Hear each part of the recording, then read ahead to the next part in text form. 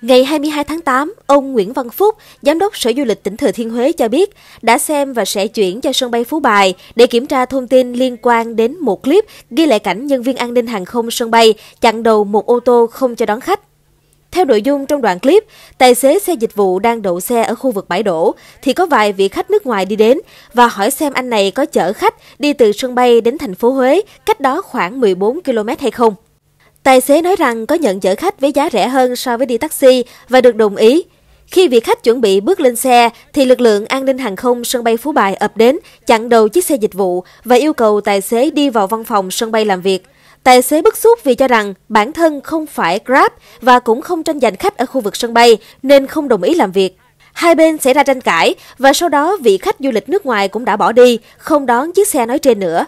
Đoạn clip sau khi được đăng lên mạng xã hội đã có hàng trăm ngàn lượt xem và hơn 1.100 lượt bình luận. Ông Nguyễn Tiến Phương, Phó trưởng phòng an ninh hàng không cảng hàng không quốc tế Phú Bài cho biết chưa xác định được khu vực xảy ra vụ việc trong đoạn clip là ở khu vực nào. Qua clip, Ông Phương cũng nói rằng, trong trường hợp này, lực lượng an ninh không có quyền yêu cầu tài xế xe dịch vụ đang đổ ở bãi xe đi vào văn phòng để làm việc, mà chỉ có thể nhắc nhở.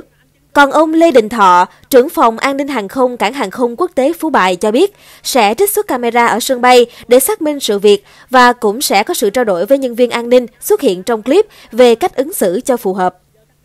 Ông Thọ cũng cho biết không phải ngẫu nhiên mà lực lượng an ninh hàng không sân bay làm việc như vậy. Theo đó, hiện nay có 5 hãng taxi đang đăng ký khai thác đón khách ở sân bay Phú Bài và các doanh nghiệp này đều thực hiện nghĩa vụ thuế đầy đủ với nhà nước. Tình trạng xe ôm, xe dù đón khách trái quy định ở sân bay làm ảnh hưởng đến việc kinh doanh vận tải, cạnh tranh không lành mạnh đối với các hãng taxi trên, ảnh hưởng đến hình ảnh du lịch Huế.